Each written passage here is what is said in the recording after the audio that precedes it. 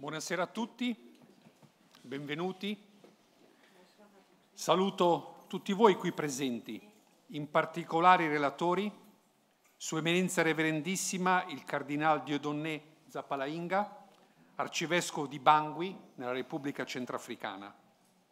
Sua Eccellenza Reverendissima Monsignor Paolo Pezzi, Arcivescovo della Madre di Dio a Mosca, e Ussam Abussini, che si collegherà, speriamo, responsabile del movimento di Comunione e Liberazione in Terra Santa. L'incontro di questa sera ha come tema volti di pace, testimonianze di dialogo e riconciliazione. Io sono per la pace, ma quando ne parlo essi vogliono la guerra. Questa frase del Salmo 120 risulta oggi quanto mai profetica ed attuale. Gli sconvolgenti accadimenti bellici in Ucraina e Terra Santa sono costantemente da molti mesi sulle prime pagine di tutti i giornali. Eppure, malgrado il battage mediatico che viene fatto, si notano durezze, contrapposizioni, chiusure da una parte e dall'altra Sembra difficile, quasi impossibile, parlare di pace, con interlocutori che forse alla pace non sono interessati o che probabilmente hanno interessi di ben altro genere.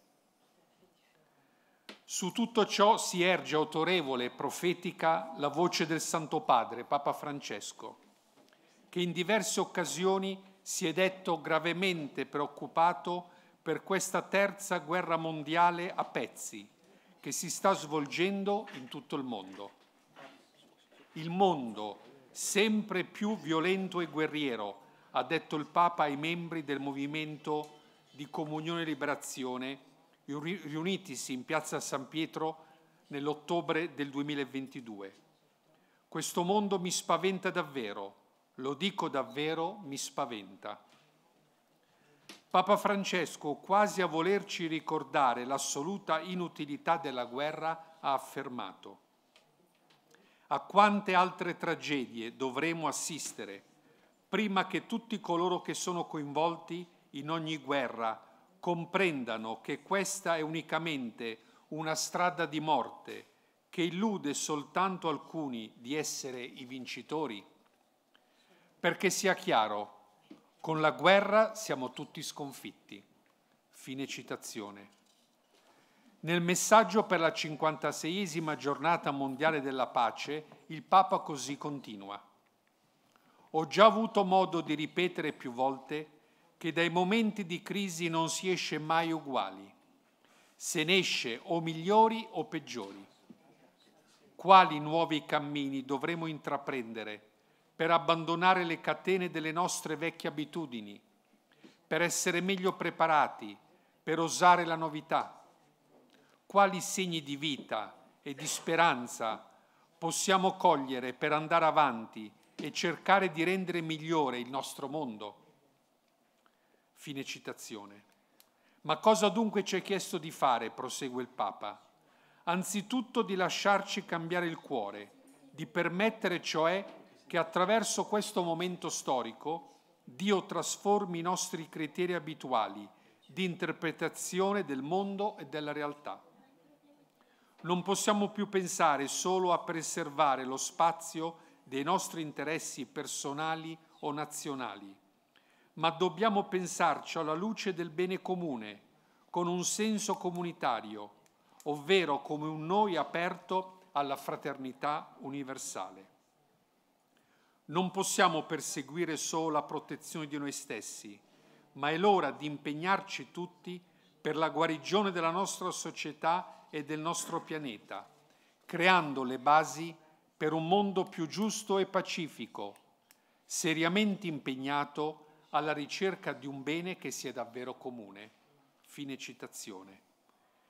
E nella lettera ai cattolici del Medio Oriente del 7 ottobre 2024, appena due settimane fa, Papa Francesco così continua. Il sangue scorre come le lacrime, la rabbia aumenta insieme alla voglia di vendetta, mentre pare che a pochi interessi ciò che più serve e che la gente vuole, dialogo e pace. Non mi stanco di ripetere che la guerra è una sconfitta, che le armi non costruiscono il futuro, ma lo distruggono, che la violenza non porta mai pace. La storia lo dimostra, eppure anni e anni di conflitti sembrano non aver insegnato nulla. Fine citazione. Riteniamo che non ci sia una vera pace reale e duratura che non sia fondata su perdono e misericordia. Riteniamo che si, si possa a buona ragione affermare che il tema della misericordia e del perdono sia il fil rouge del magistero di Papa Francesco. Nella bolla di indizione del Giubileo straordinario della misericordia, Misericordia Vultus, dell'aprile 2011, il Papa affermava L'architrave che sorregge la vita della Chiesa è la misericordia. Tutto della sua azione pastorale dovrebbe essere avvolto dalla tenerezza con cui si indirizza ai credenti. Nulla del suo annuncio e della sua testimonianza verso il mondo può essere privo di misericordia. Fine citazione. Innumerevoli sono stati in questi anni i richiami e gli inviti del Papa, del, del Papa a vivere la dimensione della misericordia e del perdono. Ricordiamo tutti quando il pontefice, parlando a braccio, al termine di un Angelus domenicale, era il 17 marzo del 2013, riferendo di una conversazione con un'anziana signora, disse Dio non si stanca mai di perdonare, siamo noi che talvolta ci stanchiamo di chiedere perdono. Ma Papa Francesco non vede nella misericordia di Dio una forma di debolezza. Al contrario, citando San Tommaso, il Papa afferma, è proprio di Dio usare misericordia e specialmente in questo si manifesta la sua onnipotenza. Le parole di San Tommaso, continua il Papa, mostrano quanto la misericordia divina non sia affatto un segno di debolezza, ma piuttosto la qualità dell'onnipotenza di Dio. Potremmo dire paradossalmente che è proprio nel perdono che Dio sperimenta il vertice della sua gioia e della sua potenza. Come dice Sant'Ambrogio nell'Exameron, questa citazione così cara a Don Giussani, Ringrazio il Signore Dio nostro che ha creato un'opera così meravigliosa nella quale trovare il suo riposo creò il cielo e non leggo che si sia riposato. Creò il sole, la luna, le stelle e non leggo che si sia riposato. Ma leggo che ha creato l'uomo e che a questo punto si è riposato, avendo un essere cui rimettere i peccati. Ma questa misericordia, questa capacità di perdono vive oggi in mezzo a noi, nella quotidianità delle nostre azioni, nei nostri volti, nella vita della Chiesa e di tanti uomini e donne di buona volontà, come ascolteremo stasera dalle testimonianze dei nostri ospiti. Papa Francesco ha aggiunto, Gesù afferma che la misericordia non è solo l'agire del Padre, ma diventa il criterio per capire chi sono i suoi veri figli. Insomma, siamo chiamati a vivere di misericordia, perché a noi per primi è stata usata questa misericordia. Fine citazione. La misericordia ha il suo pieno compimento nell'esperienza cristiana, perché la misericordia viene solamente da Dio. Siate misericordiosi come misericordioso il Padre vostro, ci ricorda San Luca. Come ci rammentava spesso Don Giussani, senza Dio dovremmo cancellare la parola misericordia dal vocabolario della nostra esistenza quotidiana. La mentalità contemporanea, afferma il Papa, forse più di quella dell'uomo del passato, sembra opporsi al Dio di misericordia e tende altresì ad emarginare dalla vita e a distogliere dal cuore umano l'idea stessa di misericordia. Qui Papa Francesco cita Giovanni Paolo II nella Divesi Misericordia. Ma nel Magistero di Papa Francesco la parola misericordia non si oppone alla parola giustizia. Non sarà inutile, dice il Papa in questo contesto, richiamare al rapporto tra giustizia e misericordia. Non sono due aspetti in contrasto tra di loro, ma due dimensioni di un'unica realtà che si sviluppa progressivamente fino a raggiungere il suo apice nella pienezza dell'amore. Giustizia significa abbandonarsi fiduciosamente alla volontà di Dio. Sempre nella lettera ai cattolici del Medio Oriente, che ho citato prima, il Papa ha affermato, siete un seme amato da Dio e come un seme apparentemente soffocato dalla terra che lo ricopre, sa sempre trovare la strada verso l'alto, verso la luce, per portare frutto e dare vita, così voi non vi lasciate inghiottire dall'oscurità che vi circonda, ma piantati nelle vostre sacre terre diventate germogli di speranza, perché la luce della fede vi porta a testimoniare l'amore, mentre si parla d'odio, l'incontro mentre dilaga lo scontro, l'unità mentre tutto volge alla contrapposizione.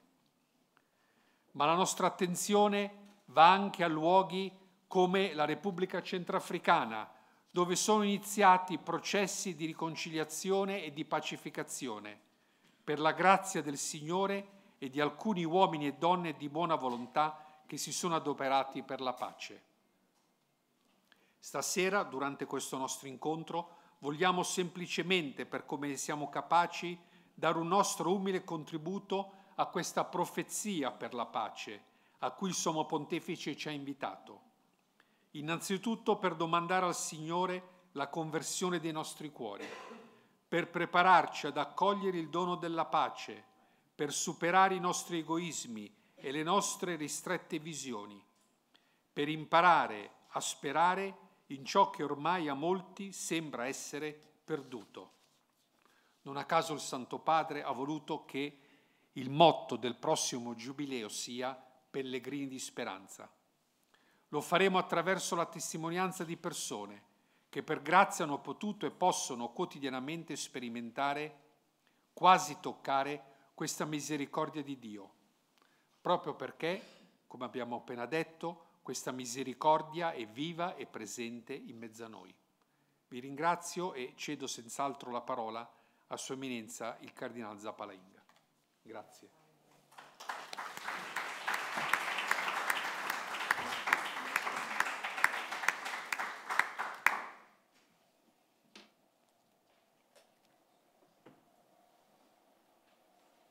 Construire la paix come costruire la pace oggi nel nostro mondo? È la domanda a cui vogliamo rispondere questa sera. E voglio ringraziare Comunione Liberazione per avermi invitato e grazie a tutti voi che siete qua stasera. La ricerca della pace inizia nel contesto dei conflitti violenti e questi conflitti che sono ora in tutto il mondo.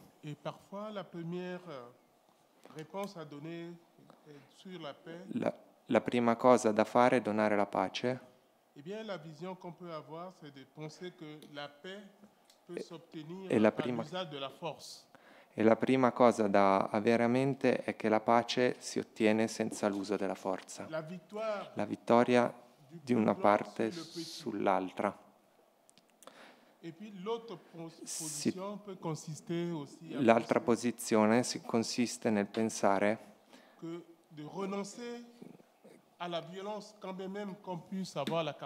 che la pace sia puramente la seconda te- si riflette nella capacità di rinunciare alla violenza. Lo facciamo e ne siamo capaci per salvare le vite. La pace si ottiene attraverso il dialogo. È il, è il frutto di un'intesa raggiunta attraverso grandi difficoltà.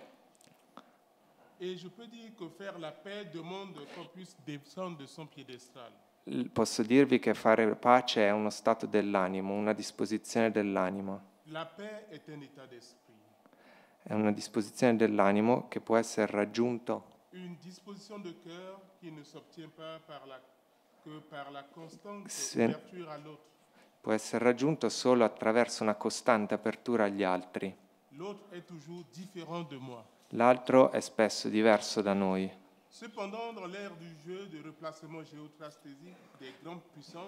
Tuttavia, in quest'epoca di giochi di potere geostrategici,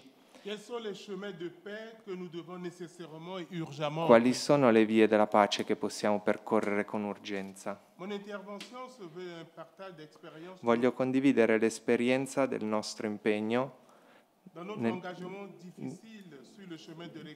nel- difficile cammino di riconciliazione della pace nel centra- nella Repubblica Centrafricana. Vogliamo parlare della pace che prende la sua vera fonte in Dio. La riceviamo da Gesù Cristo, che, che ha dato la sua vita per riconciliare i popoli, per riconciliare le razze e le nazioni. Come dice l'Apostolo Paolo nella sua lettera agli Efesini, chapitre 2, verset 14. il 2,14. Le Christ est notre paix, lui qui est Cristo è la nostra pace che ha fatto dei due una cosa sola e ha abbattuto il muro di separazione. Beati gli operatori di pace, perché saranno chiamati figli di Dio. Fare la pace nel tempo della guerra, Comment parler de la paix aujourd'hui en Ukraine come oggi parliamo della pace in Ucraina, come parlare oggi della pace a Gaza, Comment parler de la paix aujourd'hui au Liban. Come parliamo oggi del Libano, come si può parlare della pace in Sudan? Comment parler de la paix aujourd'hui dans l'Est du Congo? O nell'est del Congo. Possiamo pensare che sia impossibile. Pourtant, Per questo nous avons besoin de N- puiser noi- dans les énergies noi abbiamo bisogno di attingere le energie pour offrir l'espace à la paix. per offrire spazio alla pace. Pour ma part, je puise cette énergie dans la Bible Per io attingo questa energia dalla Bibbia, che, parle de la che contiene parole che danno pace e portano vita. En plein, en plein contexte de guerre Durante il 23 contesto della guerra fredda, Papa Giovanni XXIII ha scritto l'enciclica Pacem in Terris e si è rivolto al mondo in questo modo che adesso cito. I conflitti non devono essere risolti con le armi, ma con i negoziati. Fine della citazione. Questa esortazione risultava ancora fortemente in me. Quando il conflitto armato è scoppiato nella Repubblica Centrafricana e ha lacerato il tessuto sociale. En effet, en 2013, Nel 2013, infatti, I- i ribelli hanno preso il controllo del paese e ci sono state violazioni dei diritti umani. E io come vescovo e pastore non ho mai cessato di denunciare gli abusi e tutti i crimini commessi con la popolazione civile abbandonata al loro destino triste. Un jour, Un giorno un gruppo, aff- un gruppo di uomini d'affari rumeni è venuto da me per conto delle autorità e 80 mi 000 hanno, e mi hanno proposto 80.000 euro. Ho rifiutato l'offerta, parce que si je prends les 80 000 euros, altrimenti se avessi preso gli 80.000 je euro non avrei più potuto parlare, non avrei più potuto difendere i piccoli, euh, non avrei più potuto parlare per gli abband- a nome degli abbandonati, non avrei più, avrebbero comprato il mio silenzio. La preghiera e la parola di Dio sono la fonte principale della mia lotta. Mi sono lasciato condurre dall'esortazione di San Paolo Apostolo a Timoteo. Ti, scon- ti scongiuro davanti a Dio e Gesù Cristo che deve giudicare i vivi e i morti per, per la sua apparizione e il suo regno. Predica la parola, intervient à temps et à insisti in ogni occasione favorevole e sfavorevole, convinci, rimprovera,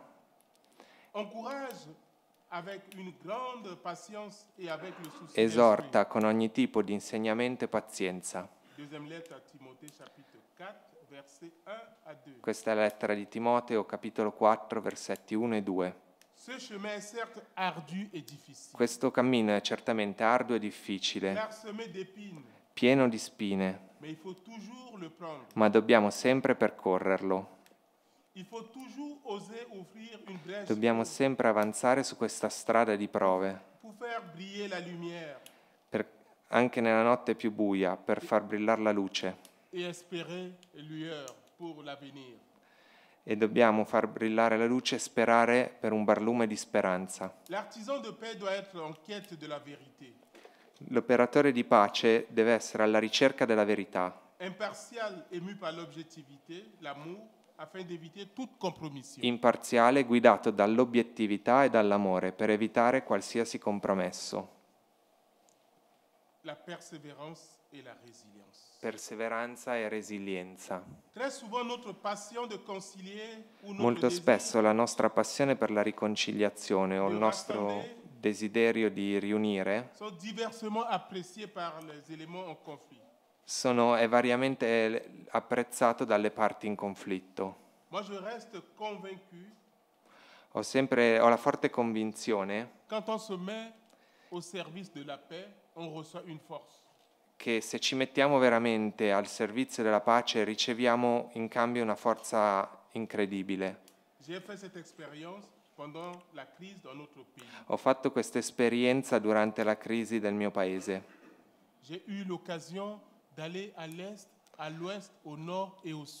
Ho avuto l'occasione di andare al- a ovest, a nord e a sud.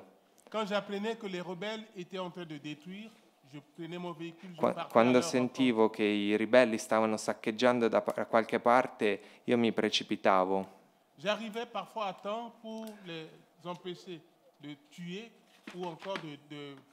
Qualche volta arrivavo in tempo per eh, scacciarli prima che avessero preso tutto o ucciso. Arrivavo a mani nude.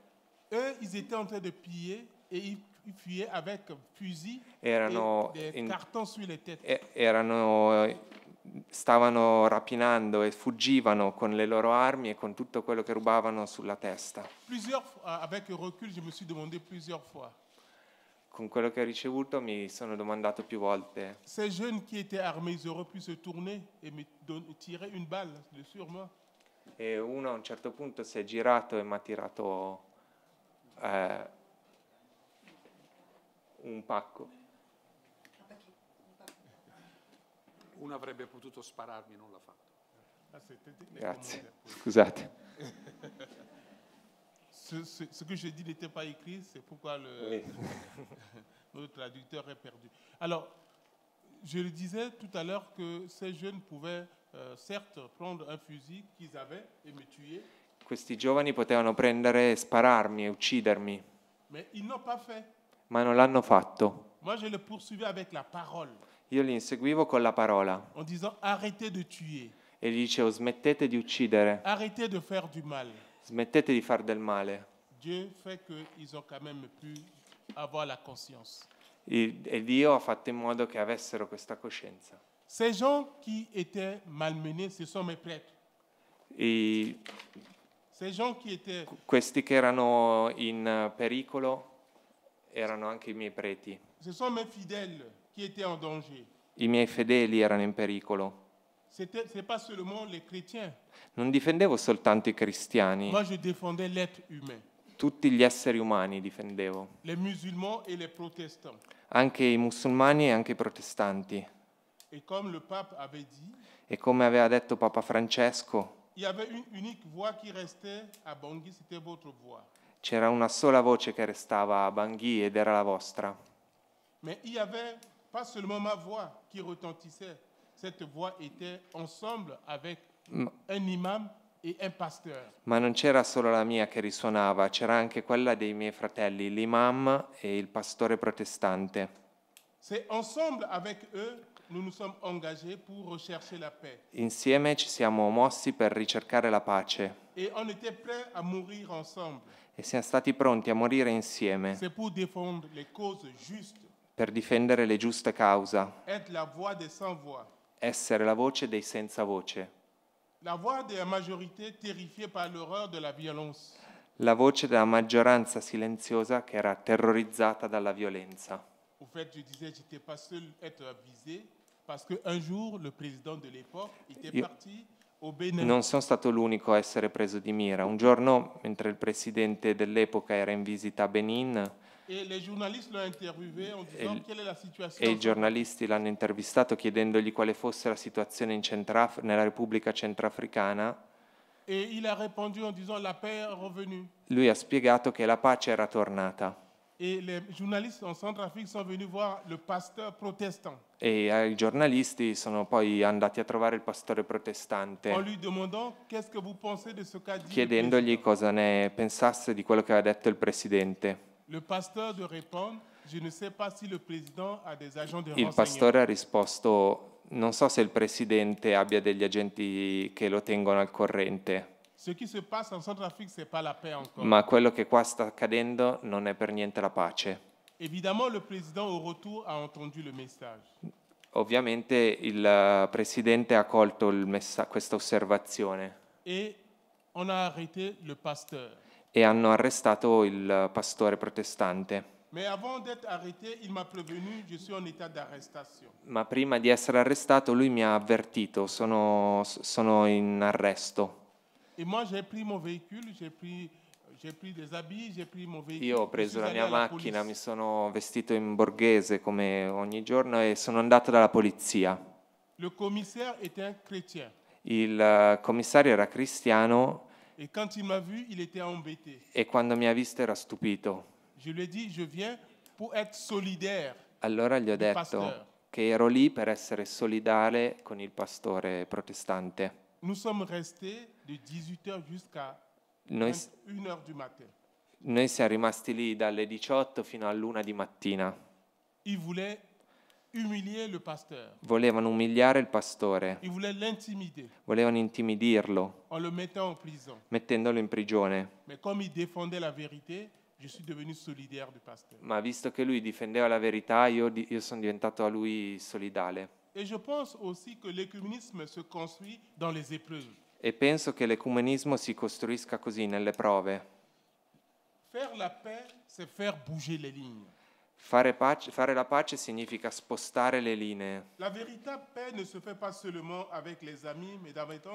la verità non si fa solo con gli amici, ma anche con coloro che, non, che consideriamo nemici.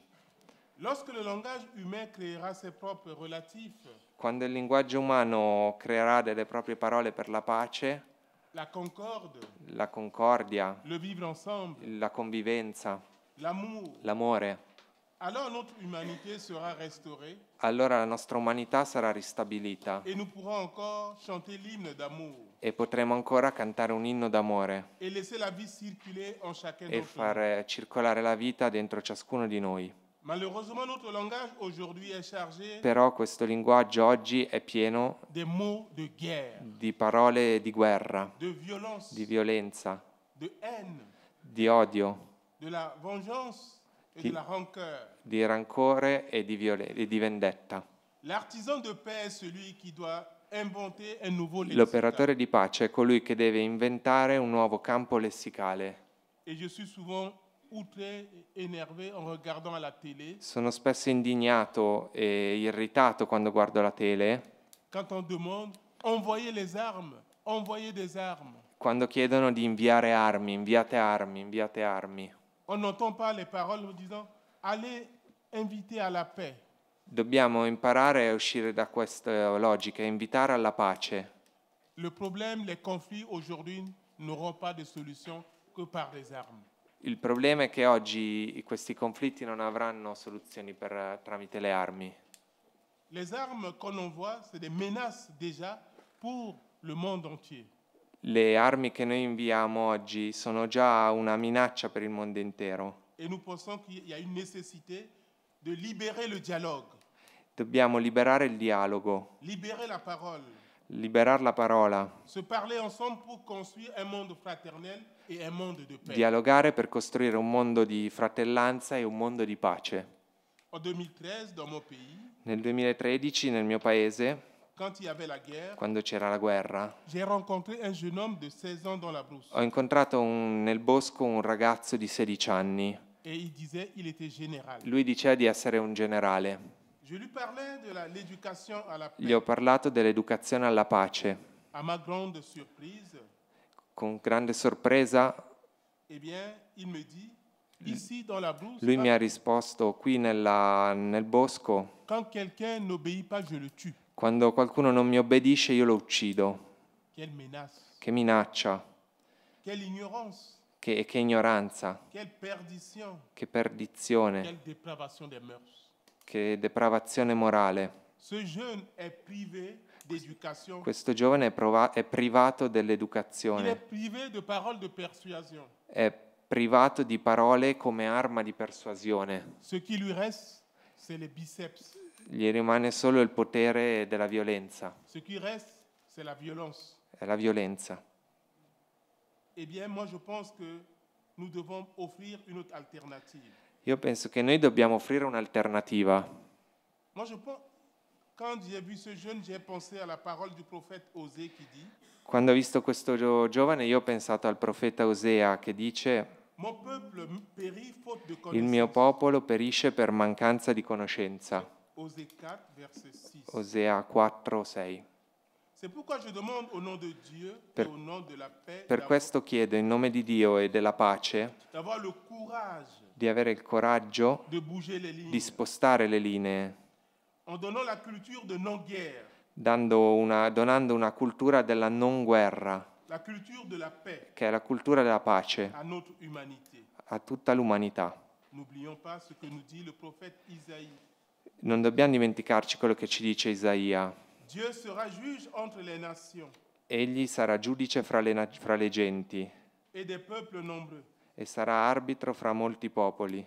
De leurs épées, ils forgeront des socs et de leurs lances. Forgeranno le loro spade in vomeri, le loro lance in felci. Jamais nation contre nation se lèvera l'épée. Un popolo non alzerà più la spada contro un altro Ils popolo, n'apprendront plus la guerre. non eserciteranno più nell'arte della guerra.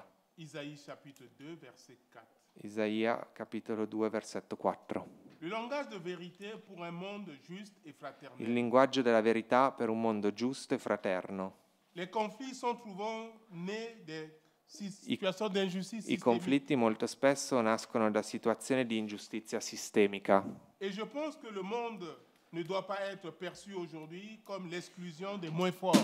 Oggi il mondo non deve essere percepito come l'esclusione dei più deboli, l'exclusion des faibles ou Quoi- l'extinction des nations les plus les moins o euh, come exposées. l'estinzione delle nazioni che sono state a lungo dominate. Aujourd'hui, la mondialisation doit être plutôt une chance pour toutes les nations. Oggi la globalizzazione deve essere un'opportunità per tutte le nazioni, Appeler à la symphonie chiamate a costruire una sinfonia pour parler ensemble et rechercher le bonheur. per, par- per, eh, parlare insieme e ricercare il benessere. Ainsi, on pourra faire advenir la paix. Ed è così che ci sarà l'avvento della pace. Le destin de toute l'humanité est Il- désormais lié. Il destino dell'umanità è ormai tutto collegato. Ce qui se passe à l'autre bout nous concerne ici.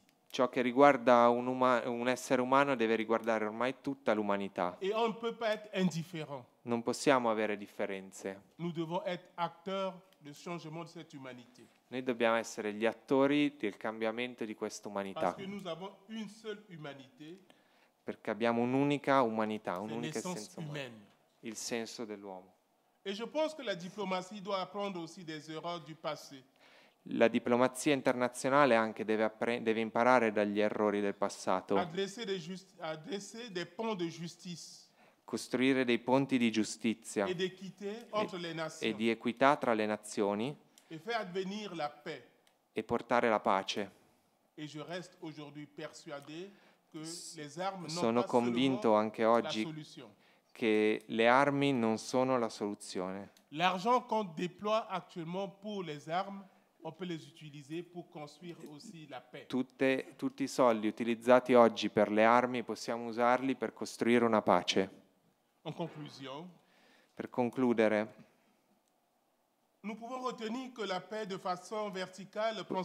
possiamo dire che la pace in senso verticale ha la sua sorgente in Dio.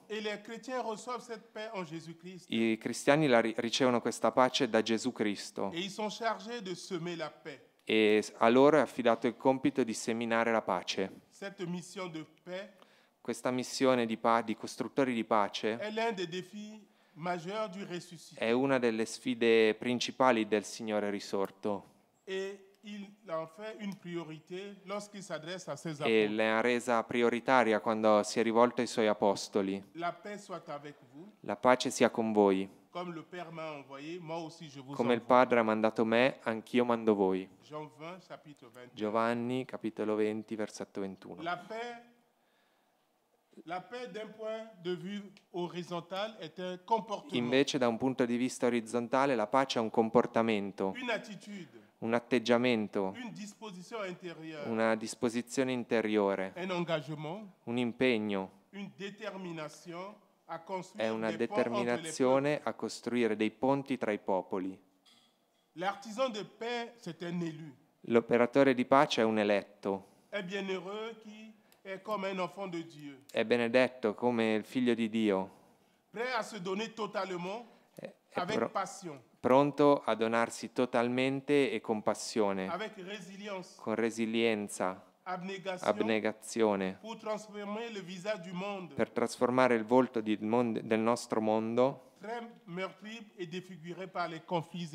che è stato per tanto tempo sfregiato e deturpato dai conflitti e dalle guerre.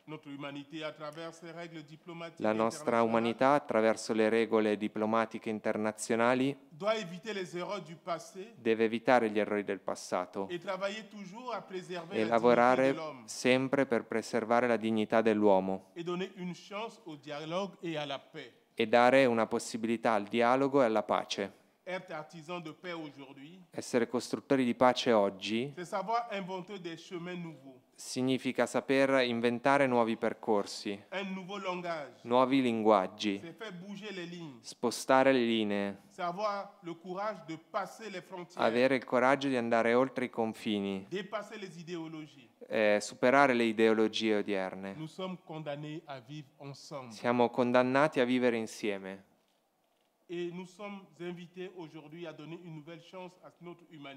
E siamo oggi chiamati a dare una nuova chance all'umanità. Dio ha bisogno di artigiani di pace. E noi possiamo essere, tutti noi possiamo esserlo. Grazie.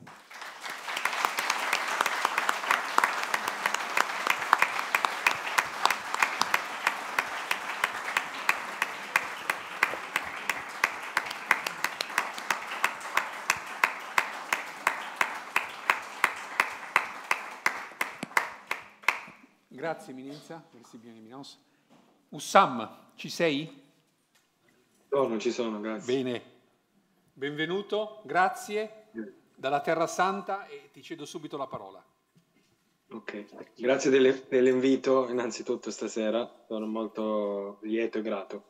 Io sono Ussam, sono medico oncologo israeliano, arabo-israeliano cattolico di origine palestinese, è nato e cresciuto a Nazareth, adesso vivo, faccio il medico oncologo, vivo ad Haifa, eh, nel nord di Israele, sul mare, con mia moglie e i miei due figli. Io sono responsabile della comunità di Comunione Liberazione Interessante dal 2018 e volevo raccontarvi eh, quello che abbiamo capito, quello che ho capito io, il percorso fatto quest'anno da quando è iniziata la guerra più di un anno fa. Noi dal 7, come la, la comunità, dal 6 all'8 ottobre, eravamo a fare la vacanza della comunità e per la prima volta fa, eh, abbiamo fatto la vacanza di inizio anno e non di fine anno, per far coincidere la giornata di inizio di quell'anno a metà di quell'anno. Siamo andati in un, in un paesino piccolo che si chiama Abu Ghosh, che sta a 20 minuti a nord di, eh, di Gerusalemme. Spiego solo un po', noi siamo una comunità un po' mista, non siamo tutti italiani tutti arabi, eh, siamo noi che viviamo ad Haifa, io con la mia famiglia, un'altra ragazza che è di Cana, di Galilea, anche lei araba israeliana, un ragazzo che sta qua ad Haifa, fa il dottorato al Technion, il, Pol- il Politecnico di Haifa, e ci sono degli italiani che stanno a Gerusalemme, degli arabi palestinesi che stanno a Betlemme e più altre due ragazze che sono cattoliche di lingua ebraica, quindi immaginate il bel mix che c'è comunque tra di noi. Il 6 iniziamo la nostra vacanza, mh, mm, facciamo introduzioni, giochi, clima bello. Il 7 ci arrivano tutti i video e tutte le notizie di quello che era successo quel giorno, 7 ottobre 2023.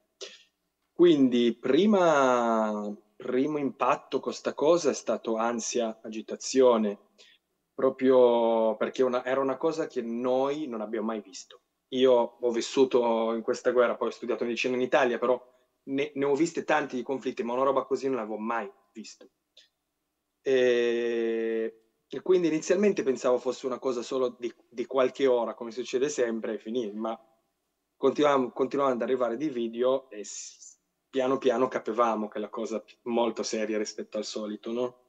Quindi decidiamo però, visto che non potevamo uscire da lì, decidiamo di continuare la nostra vacanza. E la prima cosa che ci siamo messi a fare insieme è dire le lodi e pregare insieme.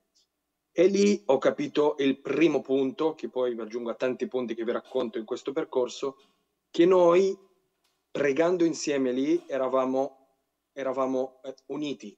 E lì ho capito che l'unità era sì data dalla circostanza che eravamo insieme in una circostanza drammatica, però l'unità era data perché guardavamo tutti dalla, dalla stessa parte. Capivamo che il maestro era uno, affidavamo tutti, tutte le nostre preoccupazioni, tutte le nostre a uno e sapevamo che lì. E, e, e ci siamo trovati molto uniti. E io mi ricordo, eh, lo dico sempre, di una lettera che il, il cardinale Pier Battista Pizzaballa, il nostro patriarca, aveva scritto a tutta la diocesi, dice dicendo dove c'è un disordine solo Dio può mettere ordine. Infatti quella giornata lì poteva essere la giornata più disorganizzata della nostra storia, proprio per, per come è stata, per come ci siamo svegliati, no? Però poi è venuto un ordine mai im- immaginato, eh, se me, me, lo chiedevano due o tre giorni prima, non, non dicevo no, no, è impossibile. Perché noi al mattino facciamo la giornata d'inizio che dobbiamo fare, e cade un, un razzo a 300 metri da noi. Quindi eravamo con i nostri bambini, non era una cosa bella, ma dovete vedere l'ordine in cui siamo andati nel, nel bunker in, insieme, come se fosse una famiglia che sta facendo una vacanza insieme. Proprio l'arabo che richiamava l'italiano, che richiamava l'ebreo. È stato proprio bello da, da, da vedere nonostante tutta l'ansia e l'agitazione che c'era. Quando eravamo a, al, al, pomeriggio, per stemperare un po' la tensione che c'era, siamo messi a giocare insieme, no? Mi è arrivata una notifica che il checkpoint tra Gerusalemme e Betlemme poteva rimanere chiuso a tempo indeterminato. Spiego solo che tra, per chi non lo sa, tra Israele, la West Bank e la Palestina c'è un muro e i palestinesi per passare devono avere un, un permesso speciale, passano da certi check, checkpoint. Se questi checkpoint rimanevano chiusi a tempo indeterminato, le palestinesi che erano con noi non potevano rientrare a casa, no? Quindi abbiamo detto, fatto, abbiamo deciso che nonostante tutto tornano a casa, facciamo le, le valigie veloci, diciamo una messa insieme e mentre una ragazza stava andando via mi aveva le lacrime agli occhi, no? Che mi fa, guarda, io devo andare a casa perché c'è eh, la mia famiglia, però non voglio perdere la qualità di vita che stiamo avendo qua ins- insieme, no? Io gli ho detto, guarda, non, non finisci qui, si inizia da, da qui. E c'era un altro ragazzo italiano, sono venuti altri quattro italiani ad aiutarci, da lontano gli fa, guarda, we are, we are one, siamo una, una cosa sola. Infatti è stato per noi stato il motto di tutto quello. Quando siamo, finiamo la vacanza, ognuno è ritornato a casa. Diciamo che non sapevamo ancora dove stava andando la cosa, come tuttora, ancora dopo un anno e un mese. Ancora non è, non è chiara la cosa, ma sono state chiare tante cose. E a, una, a dieci giorni dall'inizio della guerra, il cardinal Pizzaballa richiama, col Papa, richiama una giornata di digiuno e di preghiera. Era, mi ricordo, un, mar- un martedì e poi aveva anche mandato una lettera a tutta la, la diocesi dicendo Cristo ha vinto il mondo amandolo e questo ci deve dare il coraggio di andare a dire chi siamo. A me ha colpito tanto, uno, che c'era un uomo che richiamava la pace in mezzo a due popoli che gridavano vendetta, in, in quel, per un, magari tutti e due per motivi logici, però c'era un uomo che stava dicendo un'altra cosa rispetto a a quello che si dice. E due, pensando alla mia vita, a quella vacanza, al mio incontro col, col, col movimento all'università, che Cristo veramente mi ha, mi ha vinto amandomi e mi, mi, mi, ha chiesto solo di ricambiare quell'amore, niente di più. Quindi siamo andati, era un martedì sera messa e la chiesa era affollata, che di solito di martedì sera non è che si vede tanto e, e, lì io con mia moglie abbiamo capito che noi facciamo parte di un popolo, di un popolo che sta domandando la, la pace all'unico che può dare la pace. E, e da, da, quella se, serata lì è nato il, il, desiderio, poi abbiamo fatto inizialmente su richiesta di mia moglie, poi giudicando con degli amici, e di anticipare il battesimo di, nos, di nostra figlia Marta, che aveva, aveva quattro mesi allora. E uno perché avevamo un po' paura di quello che può succedere. Due perché volevamo veramente che la nostra figlia facesse parte di quel popolo lì. E tre volevamo aff- affidarla all'unico che ci dava la, la speranza in quel momento lì, magari in cui mancava la speranza. E il rito del battesimo è stato bellissimo perché l'abbiamo fatto in una cappella piccola d'Aifa dei cattolici di lingua ebraica, perché il parroco italiano e siamo stati amici in questi anni, quindi il rito è stato fatto in italiano, arabo e, e, e, e ebraico. Io dico sempre a tutti gli amici, trovatemi un posto dove in questa circostanza si trovano queste tre lingue. Era proprio anche una, una, una festa, affidare nostra figlia all'unico che ci dava speranza, vedere anche i, gli amici stretti che sono venuti con noi come erano con, contenti per questa, per questa, festa. E per me è stato il primo gesto di, di pace eh, perché da, da, padre lo dico, l'amore proprio ai figli è proprio affidarli e se l'amore non è quello c'è qualcosa che non mi torna. Da lì, e dopo tutto quello che anche vi ho raccontato prima, ho capito che una, un amore che caratterizza la nostra vita e ci viene da, da, da cambiarlo. La, eh, voglio specificare solo una cosa, siccome io sono arabo-israeliano di origine palestinese, ci abbiamo tutti l'idea qui ideologica che noi non, non, ci, non vogliamo andarci da, da qui eh, perché siamo stati qua prima, dico noi arabi e cristiani. C'è proprio questa idea di, di tutti, che noi stiamo qua perché siamo stati qua prima e non ci vogliamo andare. Quest'anno, con tutti i fatti, capendo quell'amore che caratterizza la, la mia vita e capendo che la nostra eh, presenza qua è importantissima, ho, ho capito che quell'idea, avendo anche la moglie italiana, quindi alla prima tempesta posso anche scappare, ho capito che noi stiamo qua non perché siamo stati prima, noi siamo qua per un, per un compito, per annunciare al mondo quell'amore che, che ci ha vinto. E, e, come dicevo, io faccio l'on- l'oncologo in un eh, eh, ospedale qua ad Haifa, un ospedale misto, dove ci sono ebrei, ci sono arabi, cristiani, musulmani, e, e quindi ogni novità, ogni episodio nuovo che succede in questa lunga guerra crea tantissima tensione a volte. E mi ricordo un dialogo bellissimo che ho avuto con una, la segretaria mia, un'araba musulmana, cui lei gli avevo raccontato il, del, movimento, che ho, ho incontrato il movimento attraverso amici all'università e ad una certa lei mi fa, ma tu come fai a parlare con tutti senza dar fastidio, con intelligenza, eh, perché altrimenti... Eh, senza dar fastidio, dire quello che pensi e magari anche capendola il, il dramma che vive l'altro, no? E io faccio, guarda, il fondatore del nostro movimento, che, che te avevo parlato di lui, eh, ci, ci aveva detto, amare il diverso è possibile solo se sei amato tu. E io quell'amore lì lo ricevo di continuo, e lei poi mi chiede subito, mi fa, ma questo amore qua, questa cosa qua, tu l'hai capita leggendo i libri di quel fondatore? E io faccio, no, non solo, l'ho capita stando con i miei amici. Lei ribatte e mi, mi chiede, ma esistono degli amici così? E lì ho, ho, ho, capito che il mondo ha sete della nostra amicizia. Proprio una, una cosa che non è possibile, cioè qualcosa di più forte che il mondo ne ha veramente bisogno, per come me l'aveva chiesto lei.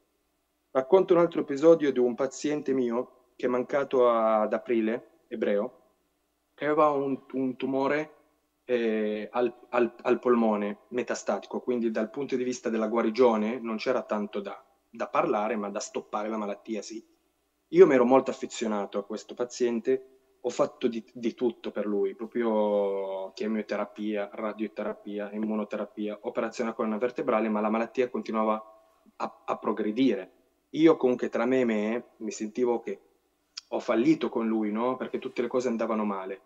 L'ultima settimana della sua vita mi chiama la, la moglie eh, di, dicendomi guarda, non ce la sta facendo, è ingestibile, sta sempre a letto, eh, come, cosa, cosa, facciamo? Io faccio guarda, portalo da me in ospedale, lo, lo ricovero, almeno che sappiamo dove stiamo andando, almeno che muoia con dignità. Quindi lo porto da me in, in reparto e quando sono andato a trovarlo, la prima cosa che mi dice lui, grazie per tutto quello che hai fatto per me, no? E io arrab- mi ero arrabbiato, guarda come, come sei messo, cosa ho fatto per te? La mattina dopo, alle 7 del mattino, la prima cosa che faccio è che vado a, a, a, trovarlo e scopro che aveva mandato sua moglie a comprare dei regali per i miei figli. E lì mi aveva, visto, aveva spaccato in due, no? Sono entrato da lui e gli, gli, ho chiesto perché l'hai fatto, no? Tu sai dove stai andando, perché l'hai fatto? E lui fa, so benissimo dove sto andando, ma grazie a te ho guardato la malattia in un'altra maniera. E lì ho capito ancora di più che noi veramente siamo qua non perché siamo stati qua prima, noi siamo qua per un compito, perché quella persona lì è morta, è morta, morta felice nonostante tutto. E lì ho capito anche che io la pace la porto facendo l'oncologo. Perché quando sono uscito fuori con questi due regali, c'era un infermiere che siamo amici da cinque anni, che lui sempre mi dice, ma cosa stai a fare qua? Tua moglie è italiana, ma scappa in Italia, ma tu sei sprecato qua, vai. E gli racconto quello che era successo e lui mi fa, guarda, tu da cinque anni che cerchi di spiegarmi perché vuoi stare qua. Tu oggi l'ho capito e tu devi stare qua. E quindi per tutto quello che vi ho raccontato, ver- veramente noi capisco che noi qua, siamo qua per un compito, ma questo compito uno lo, lo, può capire, come dicevo alla segretaria mia, solo stando dentro una, una comunione vissuta. Il rapporto con i miei amici è cresciuto sempre di, di più, perché abbiamo veramente come se abbiamo dato un, un giudizio insieme che siamo qua per un compito. Abbiamo abbiamo iniziato a dire l'Angelus insieme tu, tutti i giorni a luna, un momento che mi, mi, mi colpisce tanto perché c'è la gente ci si stacca da quello che si fa per far memoria di quello che ci unisce e c'è una certa fedeltà tutti i giorni a luna. abbiamo iniziato a fare la scuola di comunità insieme, in cui eh, si dà, si, come si dice, si dà un, un, giudizio su tutto quello che, che succede. È nato il desiderio di fare una giornata di convivenza una volta al mese più stavamo insieme, più comunque cap- capivamo l'importanza del, del, dello stare insieme. Racconto solo, eh, un mese fa abbiamo fatto la, la giornata di inizio nostra e abbiamo in, invitato eh, Monsignor eh, Rafik Nahra, che è il, il vescovo e eh, il, il, il, vicario patriarcale per Israele a Nazareth. E lui, in, in, nella tornata d'inizio, ha aggiunto anche alt, alt, altre cose facendoci capire cos, cosa vuol dire costruire la Chiesa oggi in, in Terra Santa. Facendo, prima di fare quel punto ci aveva detto che comunque eh, noi siamo comunque chiamati a un compito, chiamati cioè mandati, ma per capirlo ci vuole la, la, ci vuole la comunione per avere cento volte di più le cose che ci dà, ma per capire quello c'è bisogno di un abbandono al, al Signore. Lui diceva che la vita è una scuola di abbandono fino a quello totale nella morte, incontro definitivo col Signore. Quindi diceva, chiamati in comunione, eh, in un abbandono, queste tre cose sono i segni di una vita cristiana sana. Poi ci diceva alla fine, cosa vuol dire costruire la Chiesa in Terra Santa oggi? Sulla Chiesa in Terra Santa oggi ci vogliono, l'ha diviso in, in, quattro punti. Il primo, avere uno sguardo, uno sguardo profetico, che vuol dire che bisogna guardare le cose come le guarda Dio. Ma per farlo dobbiamo allontanarci dall'odio e dalla vendetta, quindi dobbiamo avere il dialogo. Diceva una cosa bella che diceva il dialogo. Se io dialogo con una persona, vuol dire che io ho stima di quella persona. Se negozio con una persona, vuol dire che io non stimo quella persona e devo solo un torna, voglio solo un tornaconto. Ma per avere sta roba non bisogna essere, terzo punto, non dobbiamo essere individualisti, perché, ma in comunione. E quattro, il punto più importante che lui dice, dov- dovete essere religiosi ma non estremisti. Infatti poi la serata con lui è stata bellissima con tutta la comunità, che una nostra amica ci ha, ci ha mandato un, mess- un messaggio dopo che dice in cui lei dice l'incontro di ieri sera mi ha ricordato la felicità che abbiamo vissuto insieme l'anno scorso da Bush, per la stessa occasione. Ieri abbiamo condiviso insieme il tesoro che ci è stato donato. La nostra amicizia è un segno chiaro della presenza di Cristo qui ho. Ho inviato alcune foto ad un'amica, lei mi ha detto o sei pazza o Gesù può essere la vera speranza e amicizia di una vita. Ho risposto a me stessa che Gesù è la vera speranza e amicizia della nostra vita. Infatti, e chiudo, secondo me più capisco che faccio parte di quel popolo lì, più mi è chiaro il compito che ho, che mh, portando la, la, pace, facendo l'on, l'on, l'oncologo, ma vivendo in, quel, in, in questo compito qua, in questa intensità qua, sono più me stesso e sono più uomo e do il mio grande con- contributo al mondo in, in, in questo momento molto delicato e difficile. Grazie.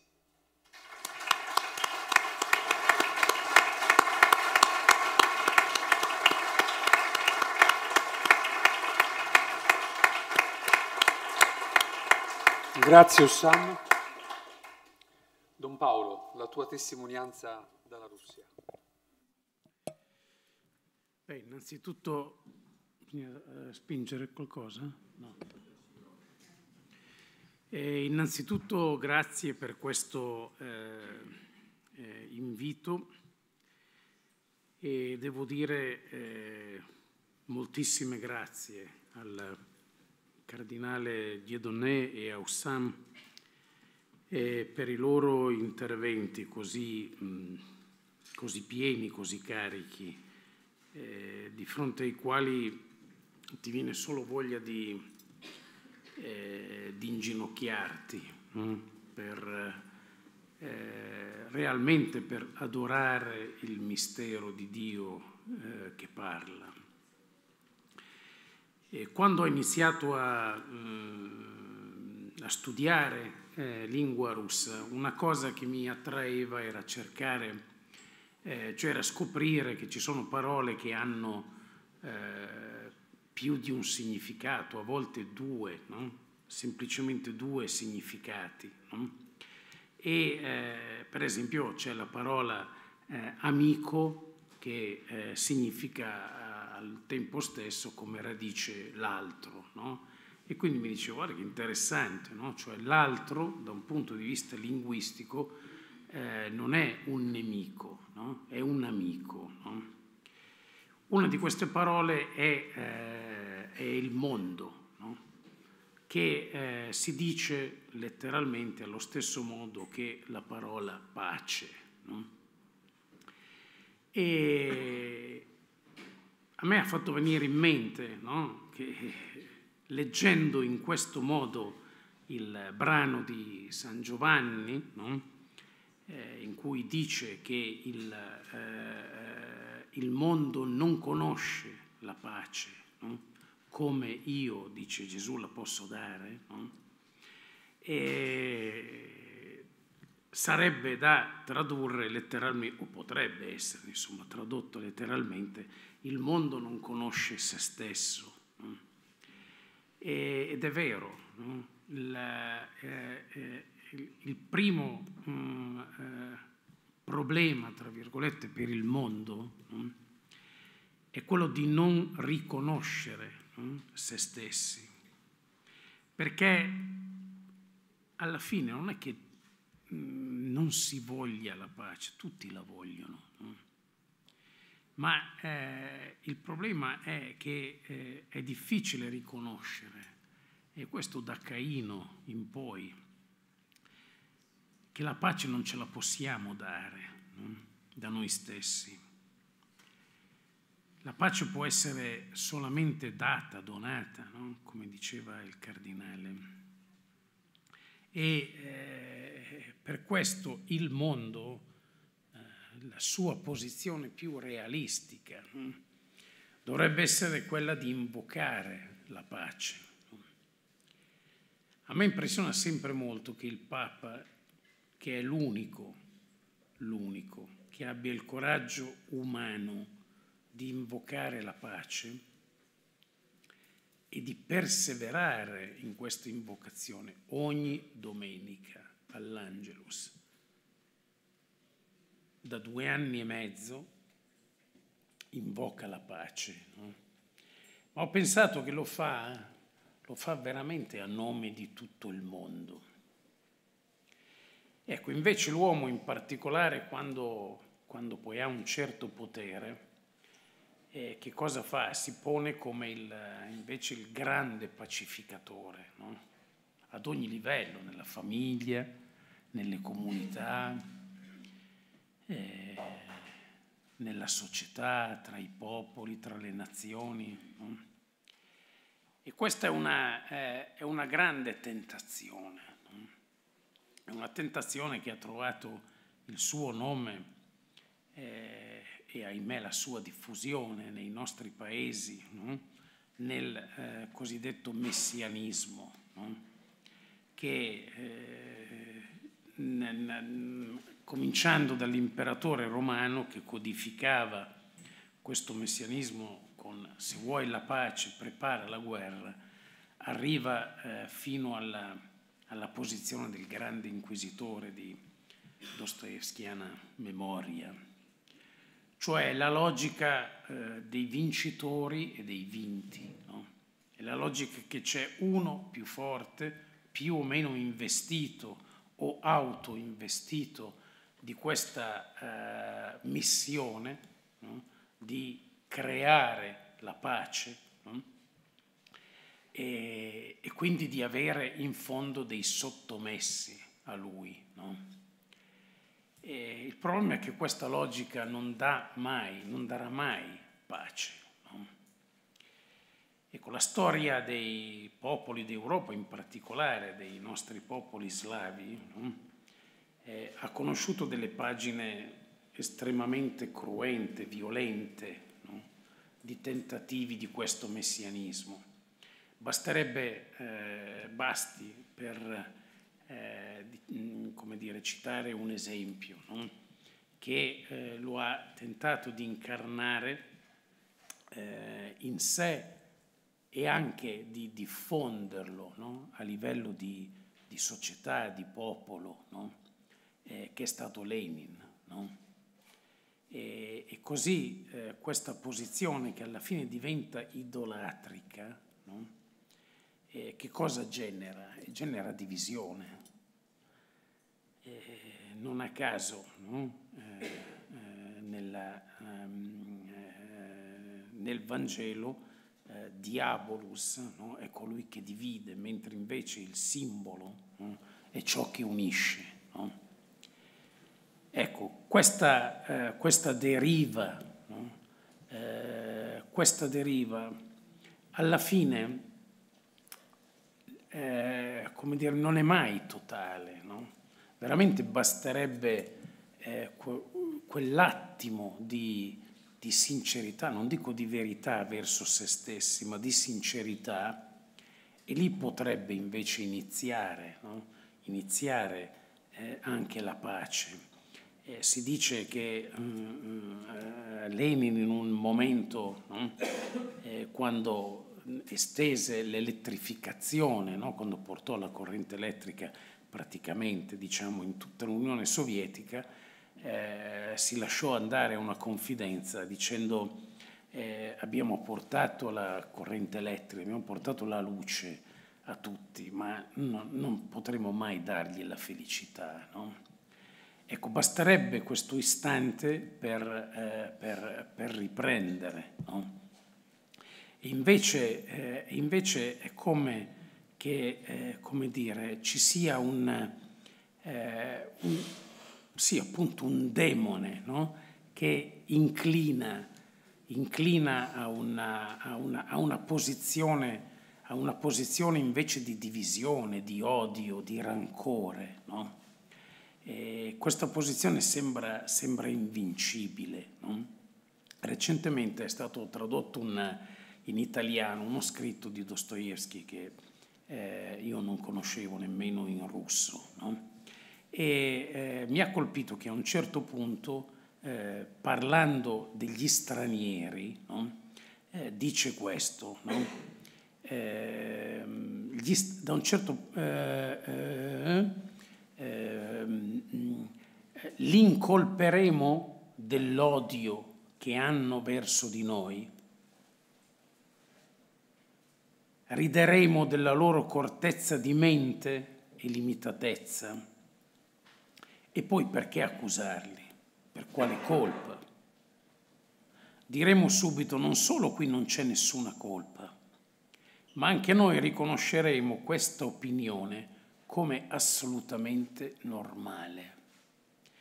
Ecco, questa è la cosa, eh, direi, più terribile, no? Che, eh, che ci può capitare. No? Ed è quella di pensare che l'odio, il rancore, la violenza nei rapporti siano assolutamente normali, siano qualcosa eh, da cui non possiamo, non possiamo farci più niente. No? Ecco, questa, questa è la vittoria, questa è la vittoria del male. No? Tant'è vero che anche, anche Paolo, l'Apostolo Paolo, al culmine della percezione di, questa, di questo veramente eh, insormontabile mistero del male, no? si domanda, no? ma allora chi, chi ci potrà liberare da questa situazione di morte, di odio, di divisione?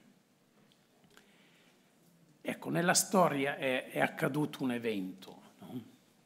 è accaduto un evento che ha dato invece origine alla pace, o meglio, ha dato origine a quell'unica forma di pace che è sconosciuta agli uomini o che era sconosciuta agli uomini. E com'è che accade la pace con Gesù. Com'è che accade la pace di Gesù? Ecco, Gesù paradossalmente, veramente genialmente, ha adottato una modalità, no? un metodo potremmo dire, che è completamente umano, ma che nello stesso tempo è solamente il divino, che è il profondo conoscitore dell'umano e del mondo, eh, l'ha creato. No? Poteva usare e questo metodo è, è, è quello della fiducia, no? quello dell'amicizia o quello della comunione no? di fratelli. E questo ha veramente del, eh, sì, del paradossale, no? perché eh, ancora oggi ci arrocchiamo no? a, a, a, domandarci cosa, è meglio tra eh, democrazia, monarchia, dittatura. No? E, e abbiamo, no? abbiamo, invece questo esempio che è, che è clamoroso, che è quello appunto dell'amicizia. Cioè pensate che Gesù eh, ha fatto dell'amicizia, eh, della comunione, anche un metodo di governare, cioè di relazionarsi tra gli uomini che, che, che non umilia, che non, che non offende no? la, la, persona, che non crea dei vincitori e dei vinti, no? ma, eh, eh, ma crea dei fratelli. Eppure questa modalità non è vero che, che non riesce a governare il mondo, è, è il massimo anzi del realismo. No? In questi giorni al, al Sinodo mi ha, mh, mm, mi ha, colpito questo riguardo, no? riguardo della fiducia, dell'amicizia, della comunione, un, un intervento fatto in un nostro gruppo no? che richiamava a riflettere sul mistero di Giuda. Perché Giuda lo ha scelto? Perché Giuda è un apostolo. Perché lo ha amato e addirittura chiamato amico fino all'ultimo? Cioè perché gli ha dato continuamente fiducia? sapendo benissimo chi era, perché gli ha dato la cassa addirittura, cioè sapendo che messo com'era sarebbe stata per lui una cosa assolutamente, veramente una prova, gestire i soldi. No? Ecco, questo a me ha insegnato cosa vuol dire sperare nel cambiamento di una persona fino in fondo e che questa fiducia speranzosa è, è capace di investire sull'altro.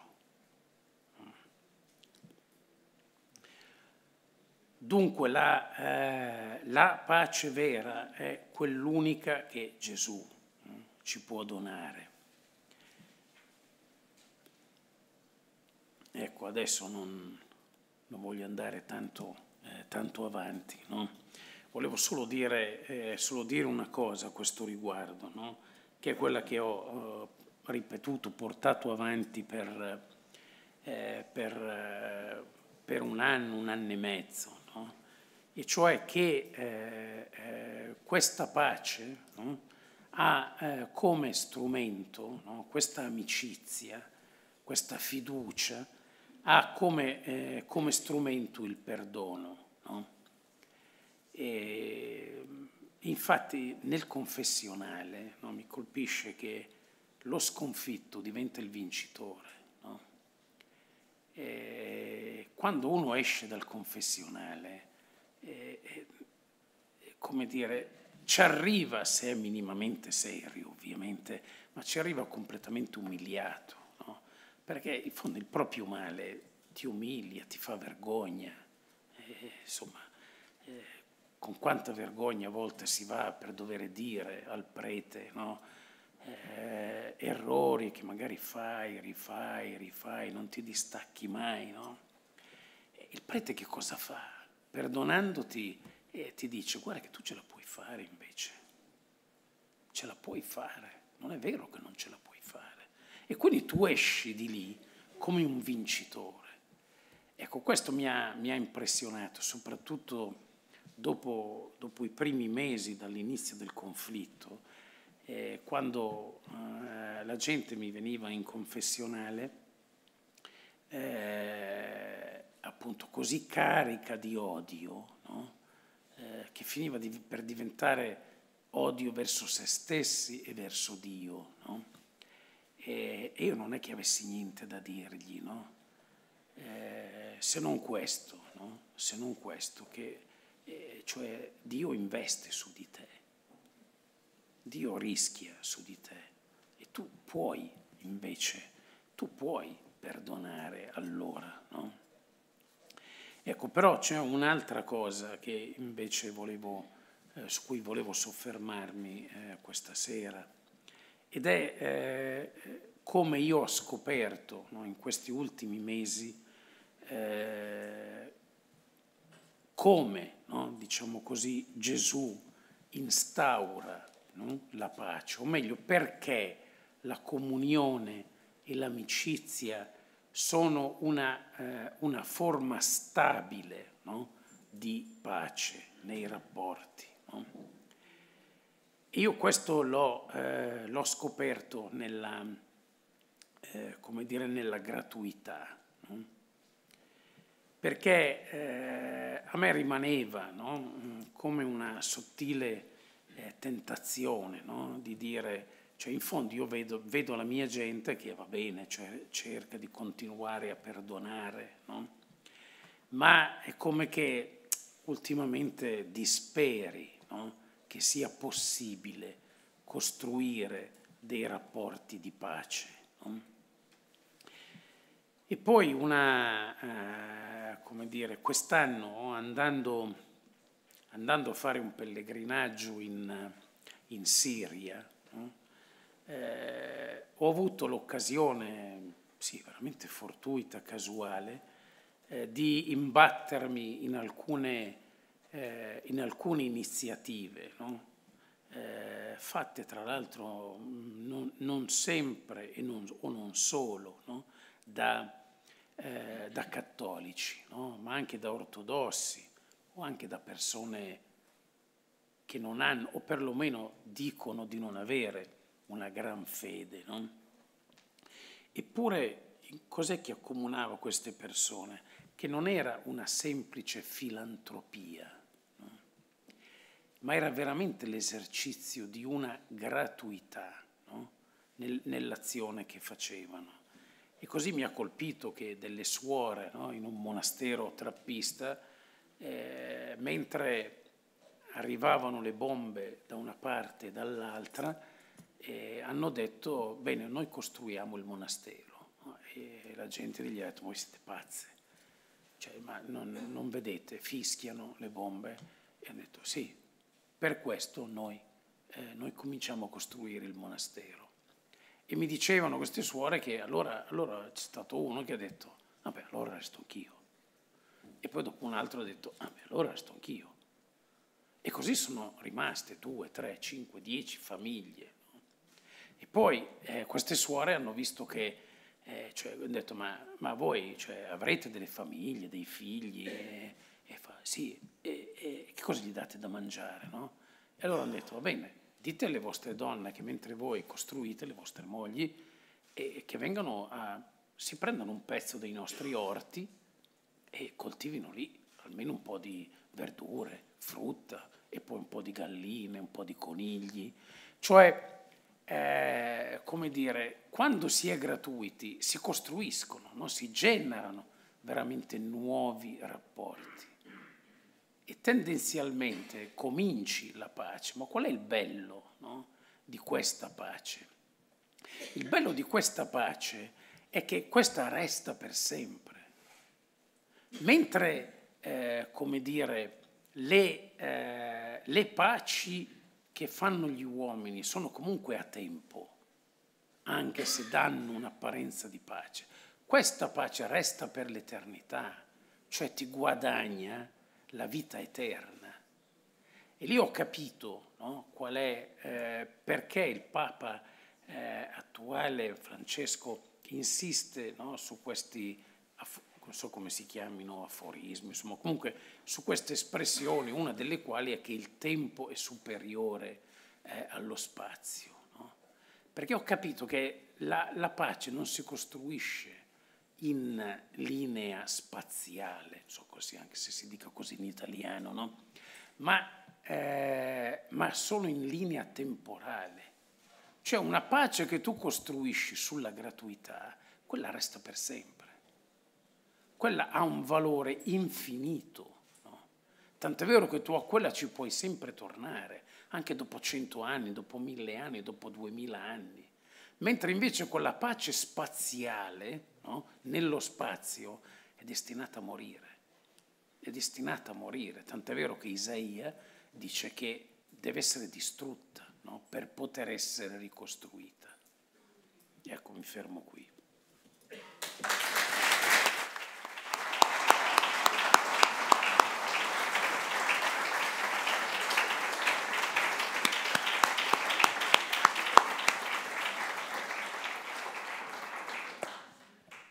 Grazie Don Paolo.